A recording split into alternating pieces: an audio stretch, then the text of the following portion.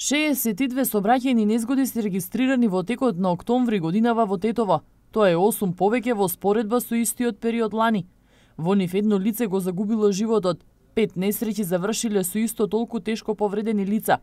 Во 33 причината била само материјална штета, која се проценува на близу 3 милиони денари. Најмногу од несреќите повторно се случиле на Тетовските улици, на автопатот Гостивар Тетово и Тетово Скопје, како и на регионалните патишта Тетово Волковија и Тетово Пирог. Неприлагодената брзина се наведува како главна причина за несреќите. Изминатиот месец исто така регистрирани се и 12 излетувања од коловоз, најмногу како последица на пребрзо возење.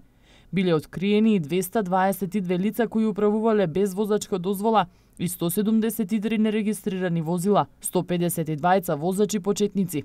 Околу 200 возила само за еден месец биле подигнати со пајак возило заради непрописно паркирање.